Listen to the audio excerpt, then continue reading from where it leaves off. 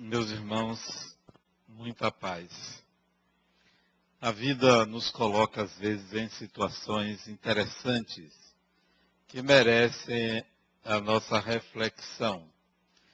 Esse final de semana eu fui fazer uma palestra e um seminário na cidade de Taubaté, em São Paulo, que fica mais ou menos a duas horas de Guarulhos. E foi uma pessoa me buscar no aeroporto. Conversamos no trajeto, embora boa parte do tempo eu estava com sono, mas deu para a gente conversar. Conversamos, fiz a palestra, fiz o seminário e ele me trouxe de volta para Guarulhos. Ele e um amigo.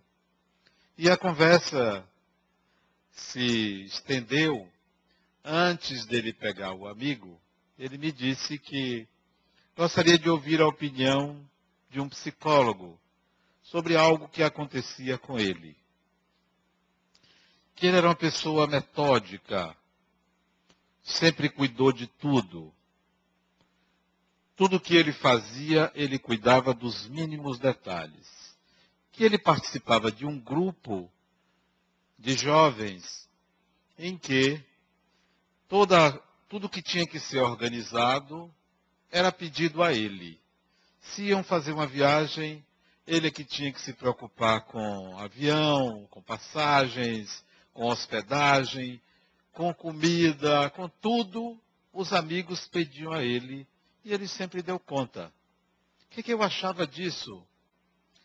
E eu, com um jeitinho bem especial, disse logo de cara que ele era um controlador sem muitas delongas, disse: Isso é típico de quem gosta de estar no controle. Você é um controlador.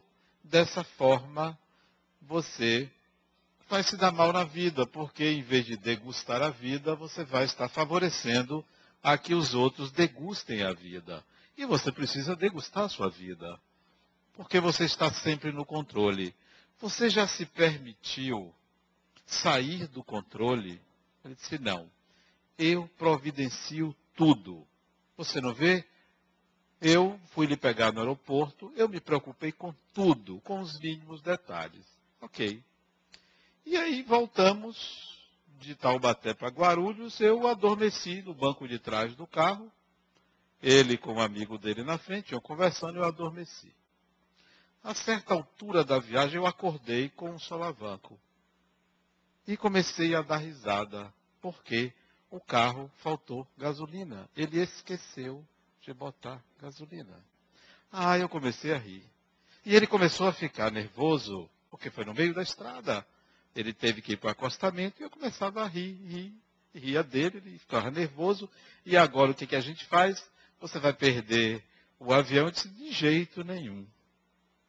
Eu não vou perder o avião e você vai ver que você vai dar a solução. Mas eu tenho que dar risada. Porque você, o indivíduo mais controlador do mundo, perdeu o controle. A vida lhe ensinou que você não pode controlar tudo. Mas você vai perder o avião. Eu disse, não vou não, você vai ver que você vai encontrar a solução. Eu não vou perder o avião.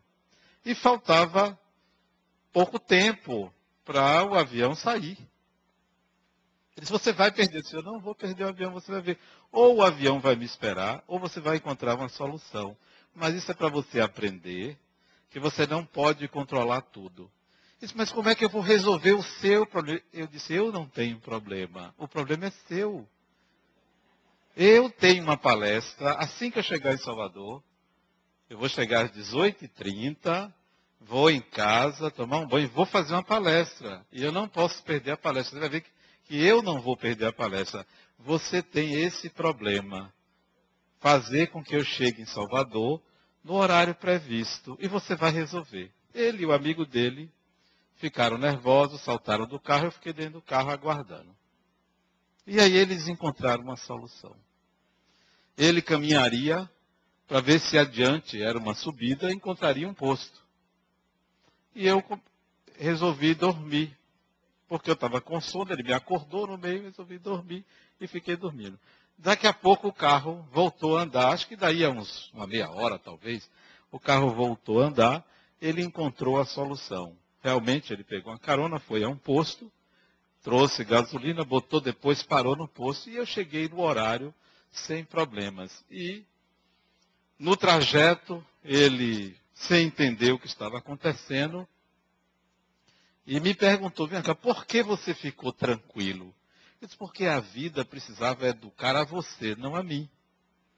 E quando a vida precisa educar uma pessoa, atinge aquela pessoa. Quem está em volta já foi educado por ela, já não sofre. Sofre por ignorância aquele que ainda não aprendeu. E foi o seu caso. Você agora vai aprender a relaxar. Porque é uma pessoa controladora, faltou gasolina. Ele disse, ah, mas eu chequei, o problema é do ponteiro. Eu disse, não, não é. Você pode reparar que depois que você encheu o tanque, o ponteiro foi para o lugar certo. Mas eu vi que tinha gasolina. Não. O seu controle cegou você. E você não conseguiu enxergar adequadamente. A vida tinha que lhe dar uma lição. Mas saiu tudo certo, tá vendo? Você me trouxe ao aeroporto. Na hora prevista, por sinal, o voo atrasou. Por sinal, era para sair 15 e 15, saiu 16 horas, não teve problema nenhum. Então, a vida às vezes prega algumas peças, nos dá alguns recados, alguns avisos, mas nós estamos tão envolvidos com uma maneira de pensar, com uma maneira de analisar e avaliar a vida, que nós não nos damos conta dos sinais, dos recados, dos símbolos, das possibilidades de compreensão do que a vida quer nos oferecer. Às vezes é um acidente, às vezes é alguém que nos atrapalha, às vezes é alguém que nos favorece, mas a gente perde essa noção de que tudo que é externo é simbólico. Tudo que é da consciência é subjetivo. Tudo que é do inconsciente é objetivo. Nós invertemos. Achamos que a objetividade está no mundo dito real, sem entender que a objetividade é o que se passa no interior da alma humana. Não é o que se passa fora. Porque tudo o que se passa fora é leitura, é percepção, tudo que se passa fora é interpretação. Porque nós somos movidos por essas interpretações que vão ao nosso inconsciente e aí nós agimos. O mundo objetivo é o mundo inconsciente. O mundo subjetivo é o que nós chamamos de realidade. O mundo do espírito é o mundo inconsciente. O mundo da consciência é o mundo da matéria, é o mundo exterior. O que se passa na intimidade do espírito é que é objetivo. Assim se dá com as interpretações que nós estabelecemos para os fenômenos da vida, para a realidade, para aquilo que a gente considera a realidade. Reencarnamos nascemos sobre outra cultura, outro meio, outra disposição e vamos reinterpretar essa realidade. Mas lá no íntimo está o espírito, é o mesmo. Ele volta, mas é o mesmo. Ele encontra cores diferentes, designs diferentes, realidades diferentes, mas é o mesmo espírito. Ele vai ter que interpretar. E a maneira como ele interpreta pode ser o seu grande problema. Vejam, se você lida com um espírito desencarnado na sua casa, uma criança de quatro anos vai ver o espírito, vai dialogar com o espírito e não vai se assustar, porque ele ainda não tem o discernimento entre fantasia, realidade, entre espiritualidade e materialidade. Se for um adolescente que for lidar com essa mesma entidade que ele não vê, mas pressente, ele se perturba. Ele não sabe o que fazer com aquela informação, tem um mal-estar, sua labilidade varia, ele fica esquisito. Um adulto ignorante a respeito de espiritualidade não vai ver o espírito, não vai sentir sensorialmente, mas vai se perturbar psiquicamente por aquela presença se for um espírito atrasado. E vai apelar para uma explicação ou racional, ou por medo, vai buscar uma ajuda religiosa. Se simplesmente for um encarnado adulto que tenha conhecimento da realidade espiritual, vai apenas pensar assim: tem alguém aqui. Quem será? Mas nós não lidamos dessa forma. Agimos impulsivamente. Lidamos com o espiritual como sobrenatural. E como sobrenatural, com medo, reagindo de forma negativa ao que é espiritual. No entanto, os espíritos frequentam nossas casas diariamente, principalmente em tempo de chuva, que ninguém gosta de se molhar. Está chovendo, espírito vai para onde? Para dentro de casa. Para dentro de casa. Vai passar chuva. Você pensa que está sozinho ou sozinha dentro de casa? Tem meia dúzia ali batendo papo, conversando, participando, assistindo a novela com você, vivendo a vida humana, porque ainda são espíritos ligados à matéria. Mas quando eu digo ligados à matéria, não são necessariamente espíritos atrasados, espíritos familiares. Porque a maioria dos desencarnados não são espíritos atrasados, não são obsessores. A maioria são espíritos familiares. A maioria são pessoas como nós, que ainda nos apegamos a esse ou aquele encarnado. E aí queremos interferir na vida, queremos aconselhar, queremos participar, ajudar, às vezes atrapalhando. Então nós lidamos com o mundo espiritual mais próximo de nós, digamos assim, familiares. Nós lidamos. Avós, bisavós, amigos, colegas de trabalho, pessoas que nós conhecemos e que desencarnaram, que participam de processos que estavam envolvidos. Quando se despertam, percebem que podem ascender, já não tem tanto apego às pessoas, aos processos que deixou, mudam de vibração, vão seguir o curso de suas vidas, saem daqui. Mas a maioria que fica aqui são espíritos familiares em alguns casos, trazendo seus conflitos para quem ficou. E eu me lembro de uma pessoa de minha família que entrou num processo de depressão. E eu achei estranho que ela entrasse num processo de depressão. Ela sempre foi cheia de vida, porque de repente entrou num processo de depressão. Quais eram os sintomas? chorava constantemente, não queria falar com ninguém, um mutismo seletivo, com uma ou outra pessoa ela falava, não queria sair do quarto, queria o colo da mãe, chamava pela mãe, não queria se alimentar, não tinha fome, não queria sair à rua, e eu disse, mas como que ela fez essa mudança? Até outro dia ela estava tão bem. Não desconfiei. O que hoje eu atestaria.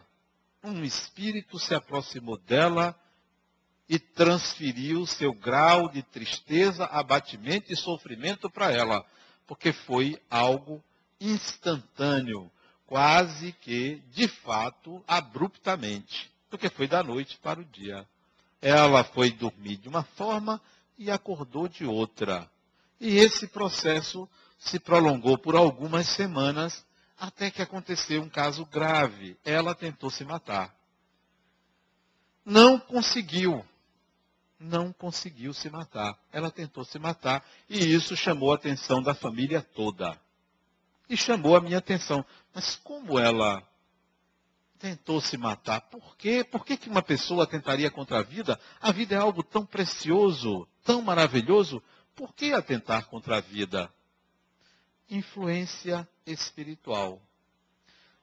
Foi os mesmos remédios que foram prescritos para ela é que ela tentou se matar tomou uma, um, uma caixa inteira de comprimidos. Não morreu. Mas foram os remédios que foram prescritos para ela.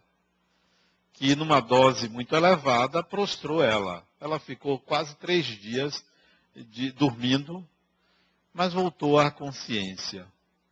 Recomendação: tratamento psicológico. Alguém da família diz: psicólogo é coisa de maluco. Ela mesma disse: Eu não vou, eu não sou maluca. Não era louca, maluca não era. Ora, como não? Alguém que atenta contra a vida não está na sua sanidade.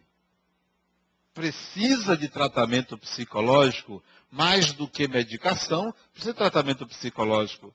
Não levaram. Mas isso não seria o bastante. Porque mesmo indo a um tratamento psicológico, se o fenômeno é obsessão, requer um tratamento espiritual. Só quando levaram-na numa senhora que tinha uma. Ela fazia consultas em casa e cobrava. Essa senhora. E cobrava. Não, era, não tinha um centro espírita. Ela tinha uma espécie de tenda familiar. Lá ela dava consultas e cobrava. A família levou a essa mulher. E a família deplorava o comportamento dessa mulher, criticava. Mas na hora do desespero, levaram a mulher para ela. Ela era uma senhora gorda, usava uns anéis, braceletes, vestia-se sempre como se fosse uma cigana. Eu me lembro muito dela. Eu era criança quando isso aconteceu. Gostava muito dela, porque também eu paquerava uma filha dela. Sem sucesso, sem sucesso. Porque a filha dela era muito volúvel, né? Sem sucesso eu ficava em último plano, mas ficava aquele amor platônico, né? Então eu ia, via as incorporações. Isso era, isso eu devia ter 10, 11 anos de idade, 12 anos de idade, via as incorporações na casa dela, aquilo não me causava espécie nenhuma, porque eu estava interessado, era na menina. Né? Desde a, como eu já era perigoso desde essa época. Né? Levaram-na para ela. E ela foi logo dizendo: Isto é um encosto. Era a linguagem que ela usava. Incorporou o espírito. Ela mesma doutrinou o espírito eu sei que a mulher ficou boa, saiu dali com outra disposição. E foi para casa e não teve essa depressão, pelo menos por uns 8 a 10 anos. Depois voltou a depressão. Depois voltou a depressão. Até hoje é depressiva. Isso já tem muitos anos. Mais de 40 anos isso tem. Voltou a depressão. Isso é o espírito que não sabe lidar com a realidade. Envolve processos internos, experiências de vidas passadas, vem para a encarnação, não aceita o mundo concreto, vive uma ilha de fantasia interna, achando que a realidade tem que lhe favorecer. A maioria de nós é assim, vai para o mundo, quer ser bem tratado. Todo mundo quer ser bem tratado. Tem alguém aqui que suporta uma recepcionista que ele trate mal? Tem alguém aqui? Todo mundo quer ser bem tratado. Todo mundo quer ganhar. Todo mundo acha que Deus tem que lhe proteger, lhe favorecer e lhe trazer o melhor. Nós não estamos preparados para o contrário. Quando o contrário surge, nós reagimos e mostramos quem nós somos. Porque o ser humano é na sua contrariedade. O ser humano é quando o obstáculo aparece. Ele não é quando é tudo fácil. Você só sabe nadar quando está dentro d'água. Fora d'água, você não consegue provar. Só diante da experiência. Viemos para a realidade e não queremos lidar com ela.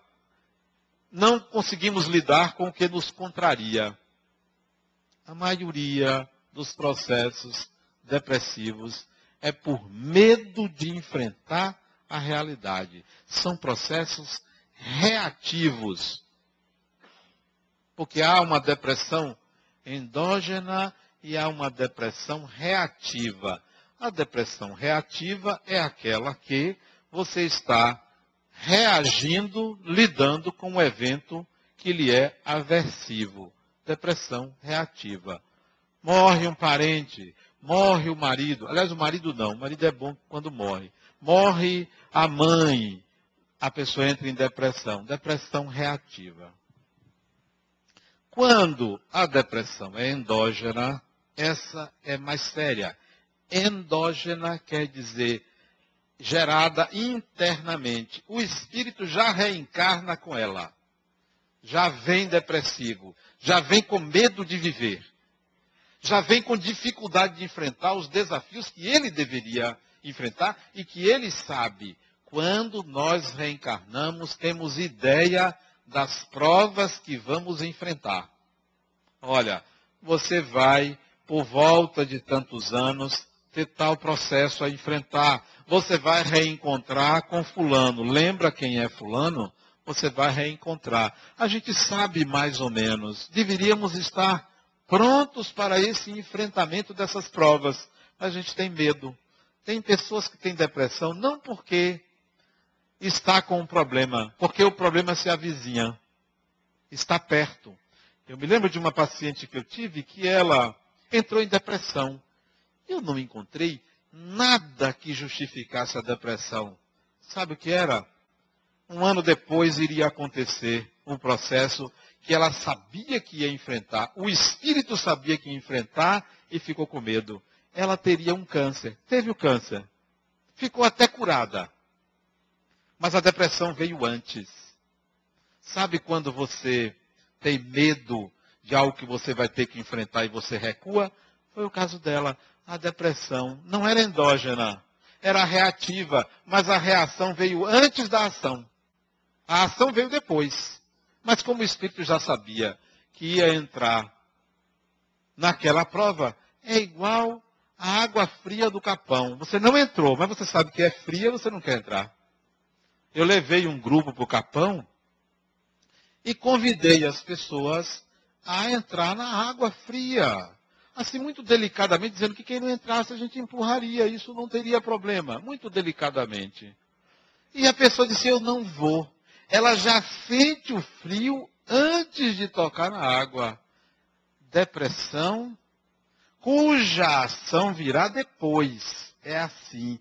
O espírito sabe, entre aspas, que vai enfrentar uma dificuldade, ele recua antecipadamente quando ele deveria, ao contrário, se preparar que venha o problema, porque eu vou enfrentar o problema, porque eu só mudo de vibração, eu só saio desse mundo para um mundo melhor se eu aprender. Enquanto eu ficar acomodado por medo, e o depressivo é medroso, ele é um medroso, ele tem medo de enfrentar a realidade, ele não vai ultrapassar essas barreiras. A depressão endógena, não. O indivíduo já nasce com ela. Ele vem de traumas passados e tem dificuldade de aceitar a encarnação. Desde cedo, ele já demonstra um certo grau de tristeza, uma certa angústia, uma certa dificuldade de enfrentar obstáculos. Ele se apequena pequena no mundo. Se ele tem um certo grau de intelecto, ele vai para o mundo, mas sempre com medo, sempre com o pé atrás, porque tem dificuldade de enfrentar a realidade. Muitos não suportam Muitos chegam numa certa idade e adoecem por comorbidade. Uma outra doença surge, e em geral, principalmente nas mulheres. Se entra num estado depressivo, abriga o câncer. É muito comum. Entrou num estado depressivo, reduz a imunidade orgânica, abriga o câncer de mama, de útero ou qualquer outro, porque baixou as suas defesas, entrando num processo de vitimização. E isso é típico do depressivo. Ele ou ela é vítima do mundo. É vítima das circunstâncias. É vítima de alguém é vítima do pai, ou da mãe, ou do patrão, ou do governo. Se bem do governo, todo mundo é vítima, porque esse governo que está aí, pelo amor de Deus, deprime qualquer um. Mas fecha parênteses, vamos voltar à nossa palestra, senão a gente vai jogar pedra no governo e a gente não pode fazer isso aqui. Então, já perdi o. Eu estava falando de quê mesmo? Você vê como a obsessão é um negócio sério, né? Então, a gente abriga né, essa condição de doença porque se deprime. Baixa a imunidade, vem uma outra doença. Vem a necessidade de culpar alguém para se colocar no lugar de vítima. Coitadinha de mim, coitadinho de mim. E esse coitadinho é um, um condicionamento psicológico. Um condicionamento todo raciocínio fica manipulado por essa ideia de que eu não mereço. Eu não mereço. Se você perguntar aqui, quem quer ser rico, todo mundo vai querer. Todo mundo. Se você perguntar aqui, quem merece ser rico, todo mundo vai dizer que merece.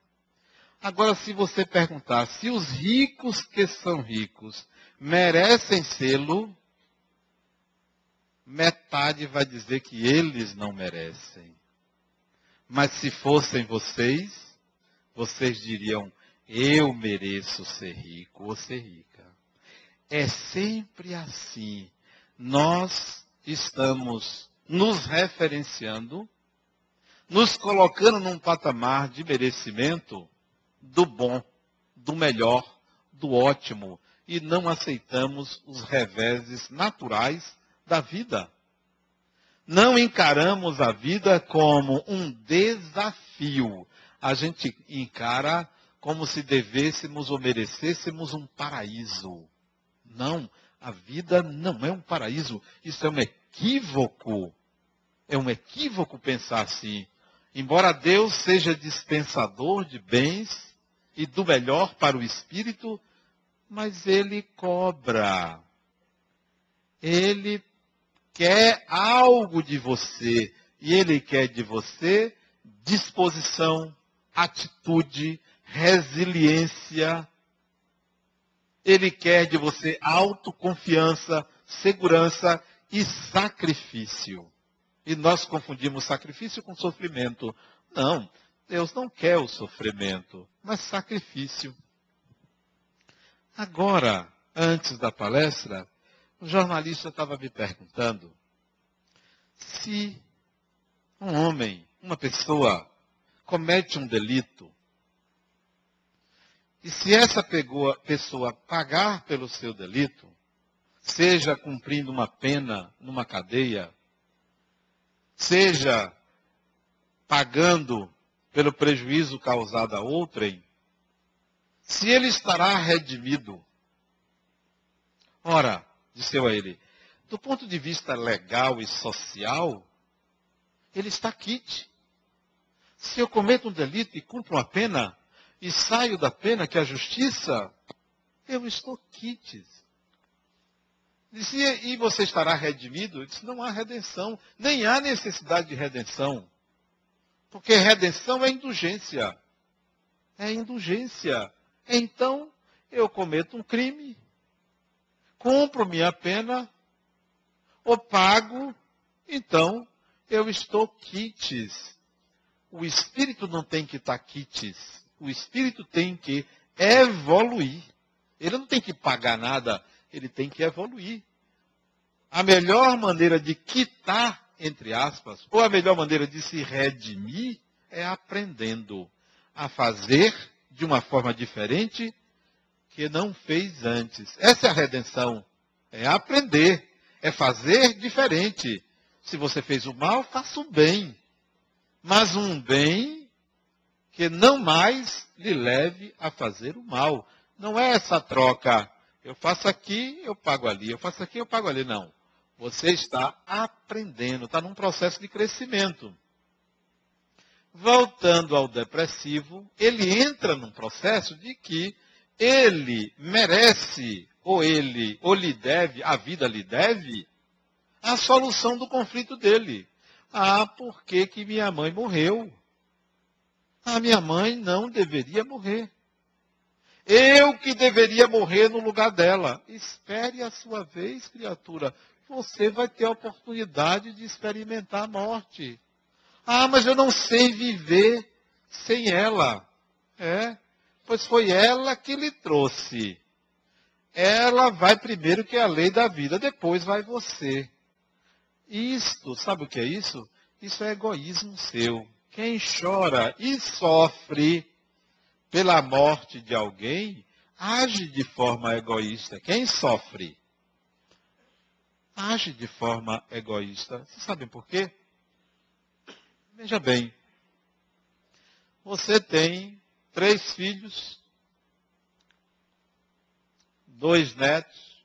Aliás, ter neto é uma coisa maravilhosa. Meu neto está à minha cara lindo. Vocês vão ver. Lindo, até a pele. É um negócio impressionante. Como está bonito. Então você tem três filhos, dois netos, uma família numerosa, você desencarna.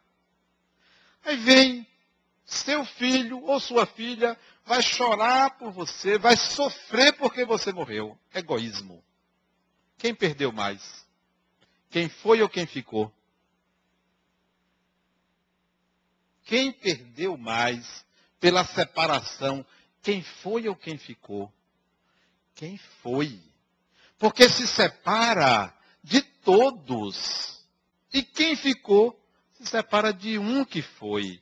Agora, se você disser que teve um desastre, morreram todos e ficou um, eu digo, olha, eu dou a mão palmatória. Você está sofrendo mais porque foi todo mundo e você ficou.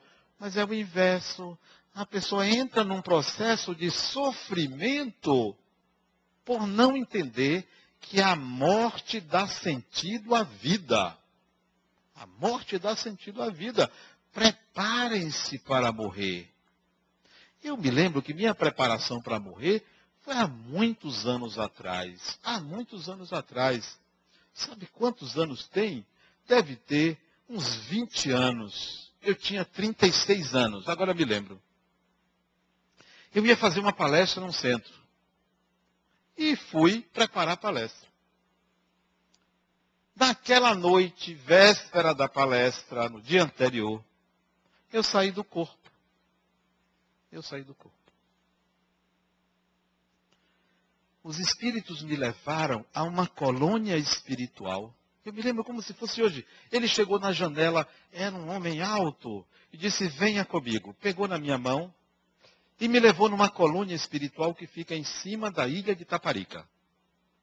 Me levou portas altas, entramos. Nunca tinha ido ali. Primeira vez que eu tinha ido a uma colônia espiritual que eu vi que era uma colônia espiritual. Isto é, era a morada de espíritos. Me levou lá. E participei de uma reunião numa casa avarandada. Uma reunião, conversando. Eu ali, consciente, sabendo que meu corpo estava dormindo, lá no Mansão Félix, onde eu morava. A certa altura, o espírito que me levou disse assim na reunião. Devia ter umas oito ou nove pessoas. Bom, nós trouxemos você aqui, apontando para mim, porque você desencarnou. Olha que absurdo, né?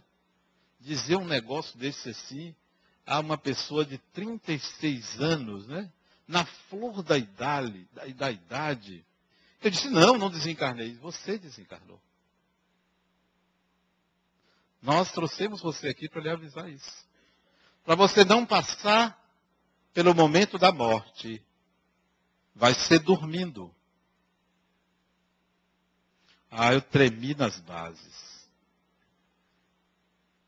Eu fiquei nervoso. E ele viu que eu fiquei nervoso, que eu negava aquilo e que estava com vontade de voltar para casa, para o apartamento. Ele disse: Não, calma.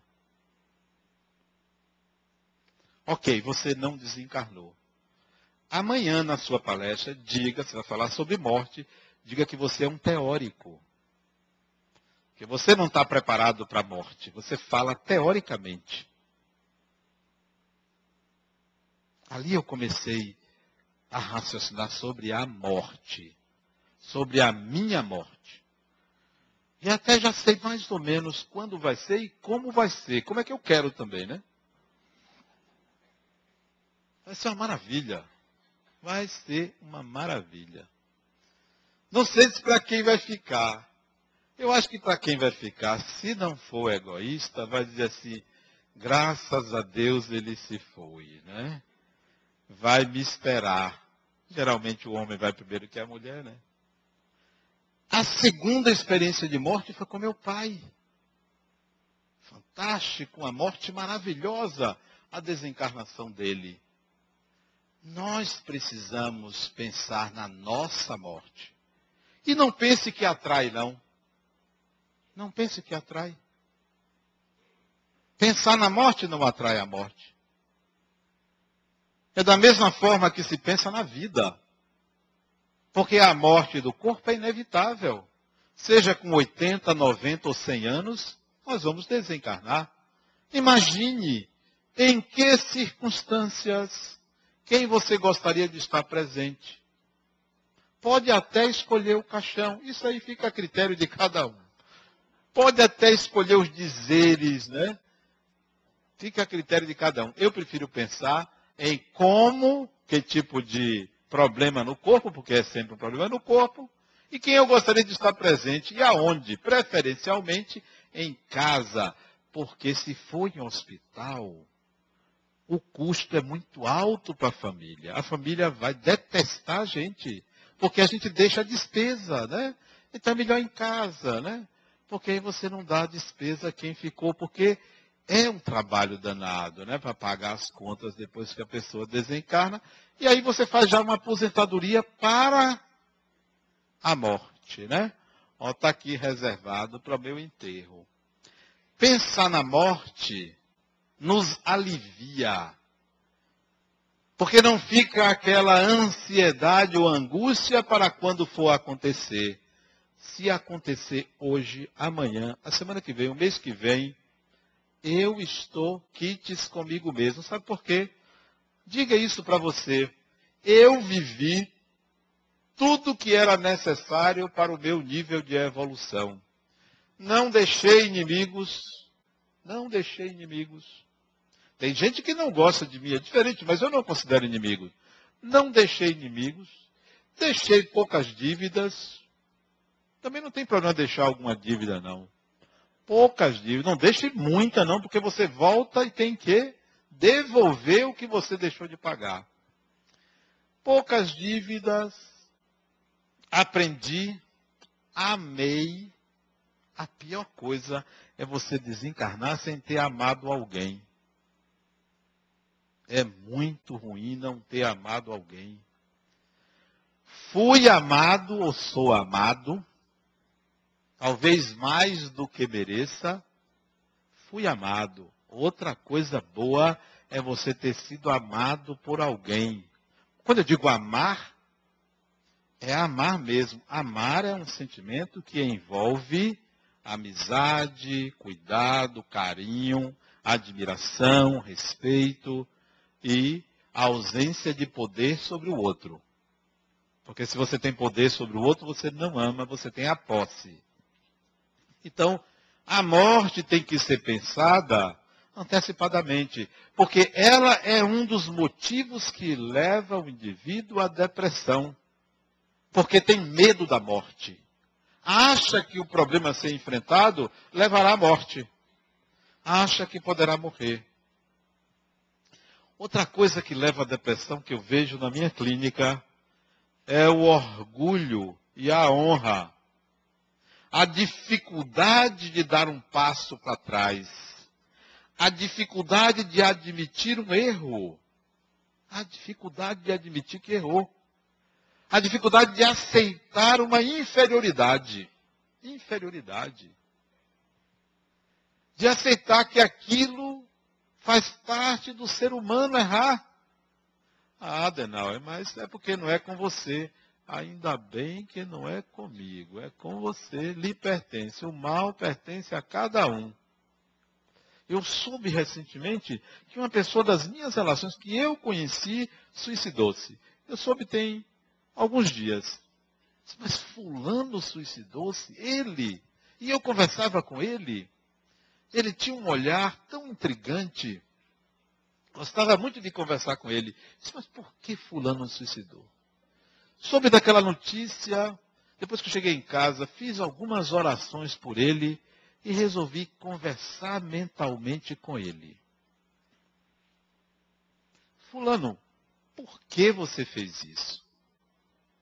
E a resposta veio clara na minha cabeça: por dinheiro eu devia muito. Não é motivo. E a minha honra não é motivo. A sua honra está em sempre tentar superar as suas dificuldades, as suas imperfeições. Isso é que é honra.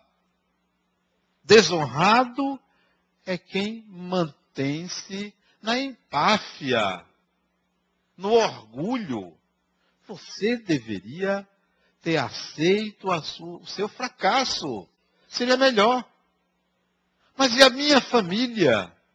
A sua família iria entender se você decretasse a sua falência. Mas você não quis.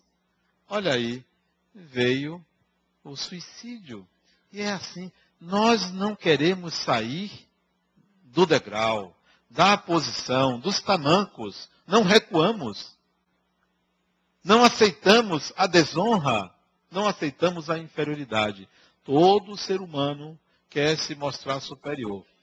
Dizia Alfred Adler, contemporâneo de Freud e Jung, que o ser humano é movido por esse complexo que o ser humano, por se sentir criatura e não criador, ele está sempre querendo mostrar-se melhor. E isso impulsiona para a vida, para crescer. Mas essa ideia também é uma ideia aniquiladora.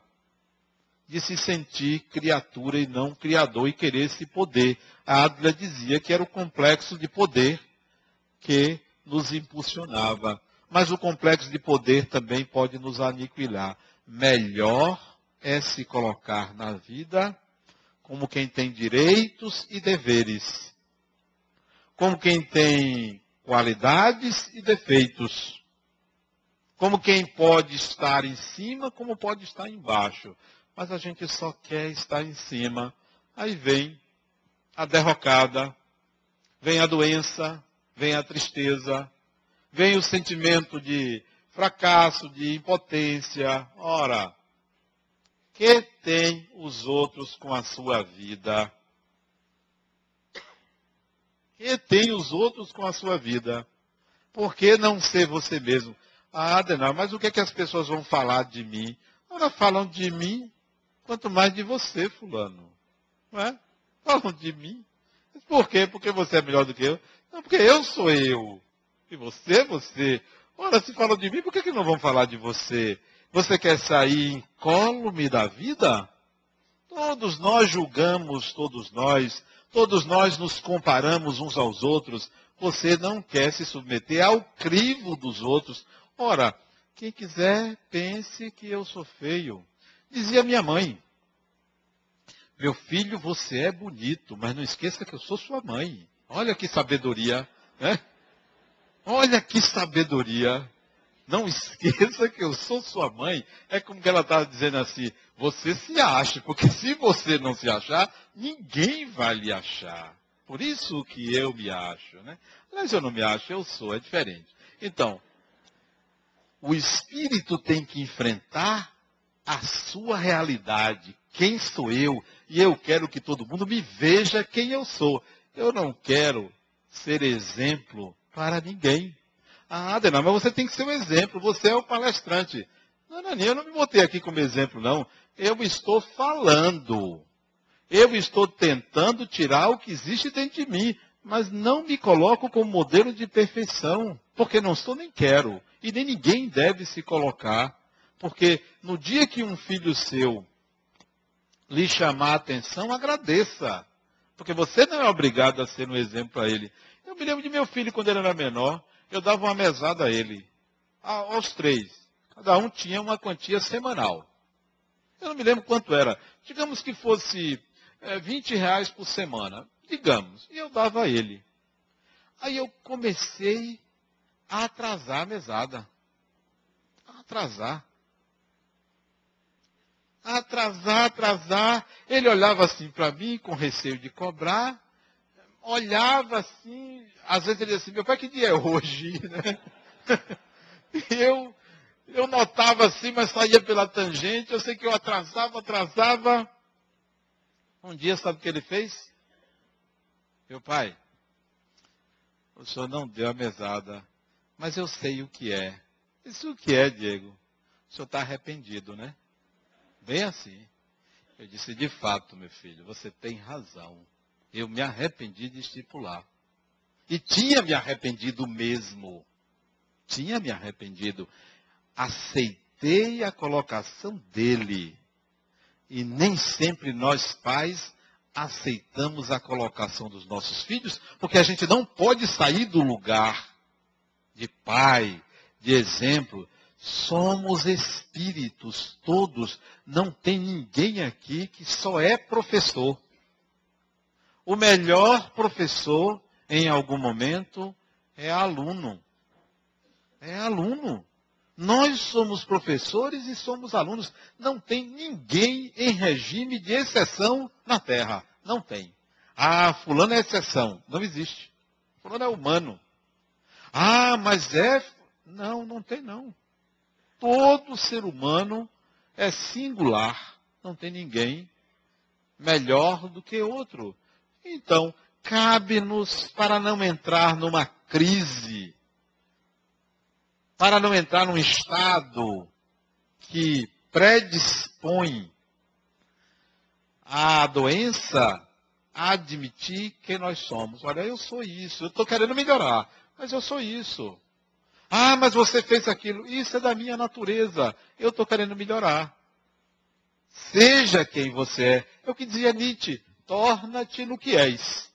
Porque se você não for o que você é, você vive um arremedo de pessoa. Você vive uma personalidade falsa, que não é você. E gasta uma energia muito grande para sustentar isso. Gasta uma energia muito grande para sustentar quem você não é.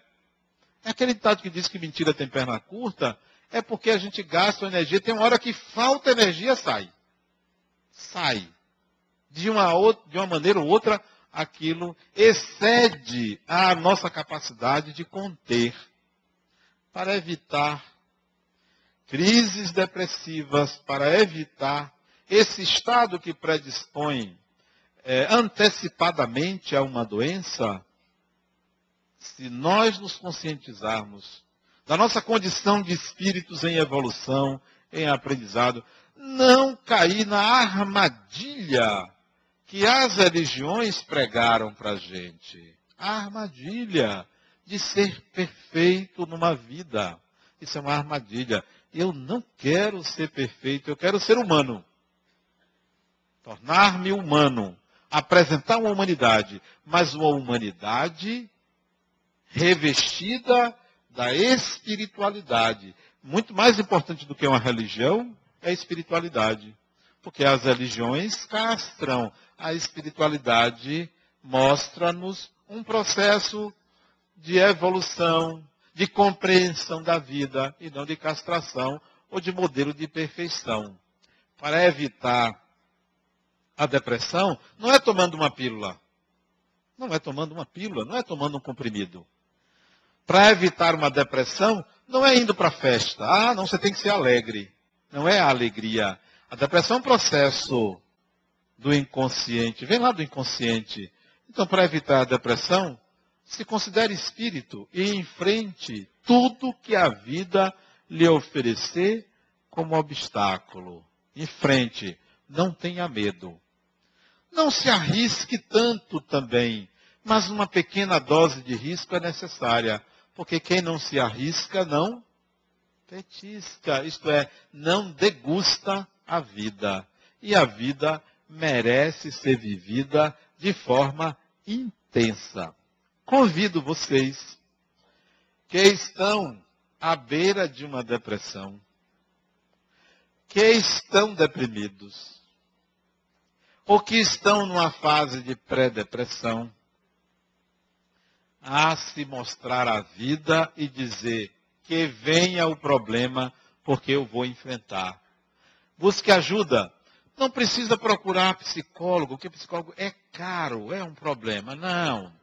Pode buscar ajuda num amigo, numa amiga, no centro espírita. Busque ajuda.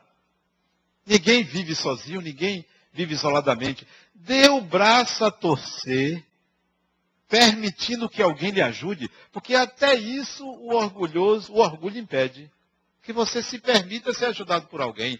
Eu, alguém me ajudar? Não, eu sempre fui aquele ou aquela que esteve ajudando os outros. Sim, mas você é humano. Você é humano. Você também tem suas fragilidades, suas necessidades não deixe de buscar ajuda. E sempre se considere um espírito imortal. Muita paz.